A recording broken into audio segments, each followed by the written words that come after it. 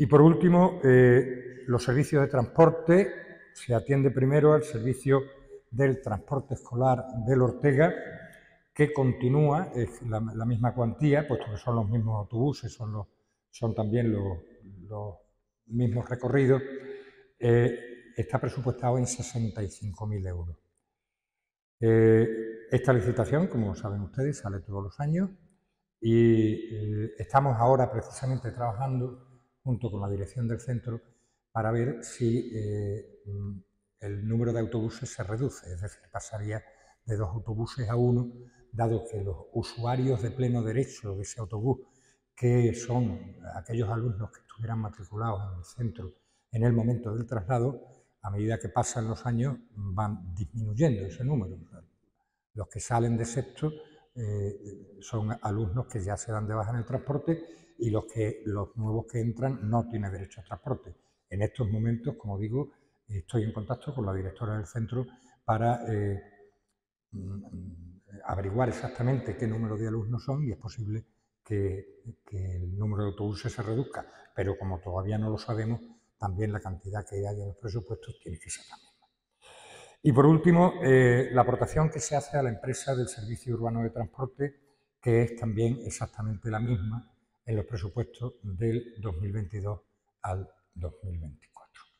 Sí, perdona, la aportación es 212.893 con 0,4. Hay una diferencia importante eh, en cuanto a la cuantía, por eso eh, se está demorando un poco porque hay que eh, dotarlo económicamente antes de sacarlo a la licitación. Y bueno, pues los números que están echando los, técnicos varían bastante con, los que aparecen en presupuesto.